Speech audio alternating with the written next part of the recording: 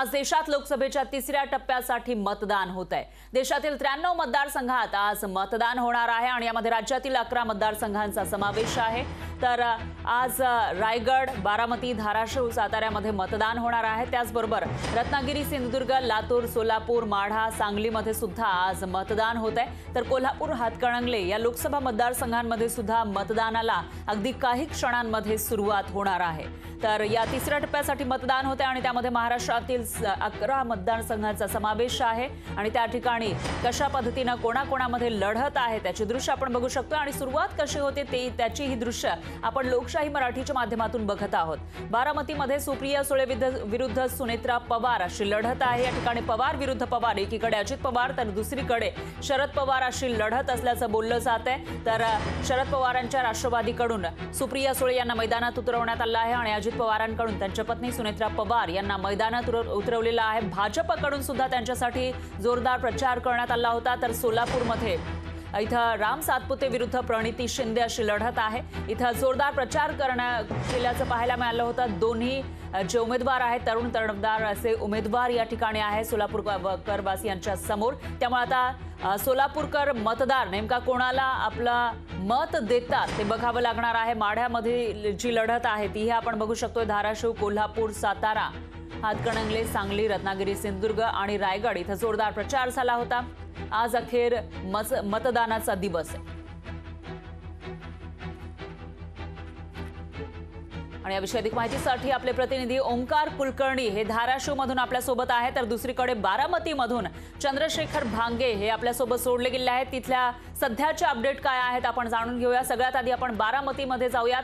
चंद्रशेखर बारामती लोकसभा मतदारसंघ याच्या- इथे आपल्याला सुरक्षेची अशी लढत पाहायला मिळते. पवार विरुद्ध पवार असा हा सामना आहे. आणि आज मतदानाचा दिवस आहे. सध्या काय चित्र दिसतंय आणि मतदानाला सुरुवात झाली आहे का?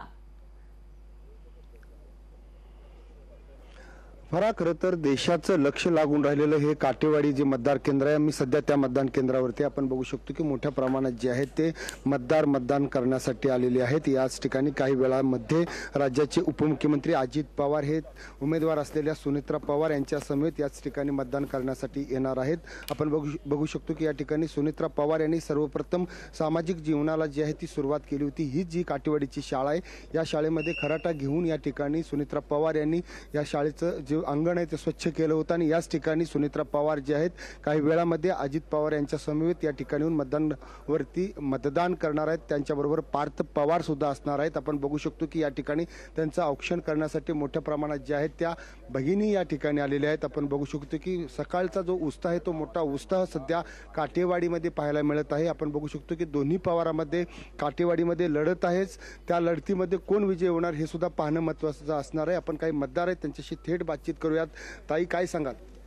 मी एवढं सांगेल की आज वहिनी आहेत त्यांना आमच्याकडून बेस्ट ऑफ लक आणि दोन ते अडीच तीन लाख मतदान आपण बघू शकतो की या ठिकाणी काही आजी आहेत. आजी तुम्ही कुठून आलात? काय नाव तुमचं? माझं कौशल्य रतन गायकवाड इथलीच आहे काटेवाडीतली.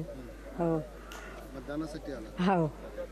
आपण बघू शकतो की परा या ठिकाणी मोठ्या उत्साहानं वयोवृद्ध आजी त्याचबरोबर महिला त्याचबरोबर तरुण सुद्धा मतदान केंद्रावरती दाखल झालेले आहेत. पुण्या पुणे जिल्ह्यातील बारामतीचं हे काटेवाडी मतदारसंघ आहे आणि याच मतदारसंघातून सुप्रिया सुळे यांच्या विरोधात सुनेत्रा पवार यांची लढत आहे. ती मोठ्या प्रमाणात आपल्याला पाहायला मिळत आहे. आपण बघू शकतो की काल रात्री वेगवेगळ्या ठिकाणी वेगवेगळ्या घटना सुद्धा याच मतदार केंद्रावरती या मतदारसंघामध्ये झाल्याच्या समोर आलेल्या आहेत. आपण बघू शकतो की मोठ्या प्रमाणात जे आहेत ते नागरिक सध्या या मतदान केंद्रावरती दाखल झाले आहेत काही वेळामध्येच म्हणजे पाच ते दहा मिनिटांमध्ये राज्याचे उपमुख्यमंत्री अजित पवार त्यांच्या पत्नी सुनेत्रा पवार यांच्या समवेत याच मतदान केंद्रावरती दाखल होणार आहेत. आपण बघू शकतो की हे जे गाव आहे काटेवाडी पुणे जिल्ह्यातील अत्यंत महत्त्वाचं असं समजलं जाणार आहे. काटेवाडी नावाचं गाव आहेत काही मतदार आहेत. आपण त्यांच्याशी थेट बातचीत करूयात. पुन्हा एकदा काय सांगाल? सकाळी मतदार करण्यासाठी आला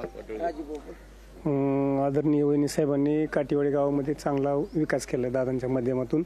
त्यामुळं आम्ही घड्याळात मतदान करणार या ठिकाणी मोठ्या प्रमाणात जे आहे ते मत मतदान आहे ते वेगवेगळी भावना आपली बोलून दाखवताना खरं आपल्याला दिसत. आहेत.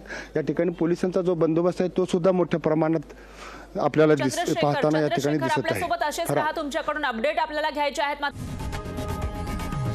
लोकशाही मराठी. ऐका पहा जागरूक रहा.